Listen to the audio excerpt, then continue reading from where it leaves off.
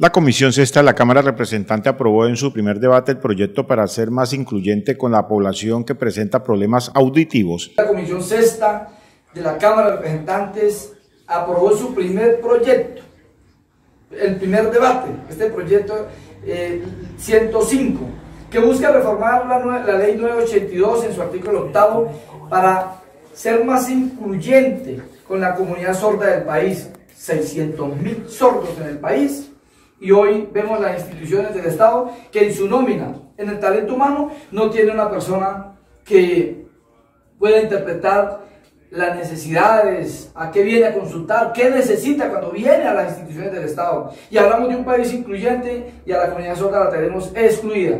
De manera que yo celebro, agradezco enormemente a Fenascola, su director, porque también me ayudaron en este, a, armar el articulado, pero al ponente también. El ponente le tocó al representante Esteban Quintero, un antioqueño, una persona aguerrida, y hizo un debate hoy muy serio, y lo acompañamos en el debate como autor de esta iniciativa, y quiero decirle y agradecerle. El representante de la Cámara, José Vicente Carreño, manifestó que la Comisión Sexta de la Cámara aprobó unánimemente este proyecto que busca vincular a las personas sordas a las entidades. Y contarle al país que la Comisión Sexta de la Cámara aprobó unánimemente los 17 votos.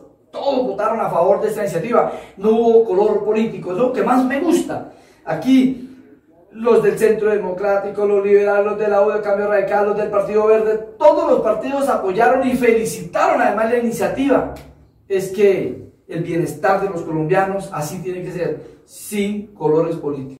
Para el presidente de la Asociación Colombiana de Sordos, este proyecto es muy importante para esta población. Claro que es muy importante para nosotros como lo decía anteriormente el representante, en todo el país la comunidad sorda lleva más de 25 años trabajando para eliminar esas barreras.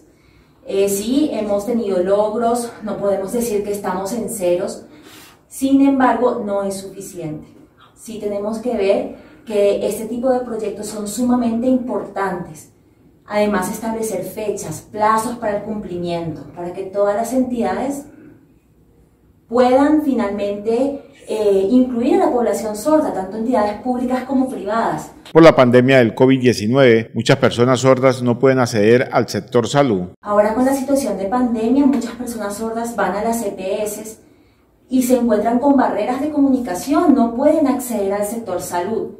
O de pronto una persona sorda que es eh, escogida para trabajar en alguna empresa tiene esa oportunidad, pero se encuentra por barreras, con barreras del entorno. Entonces, este tipo de proyectos son sumamente importantes. Ojalá pase durante todos los debates, pase a sanción ya presidencial para que la comunidad sorda tenga este derrotero, esta herramienta jurídica también para poder trabajar en la igualdad de derechos para la población sorda.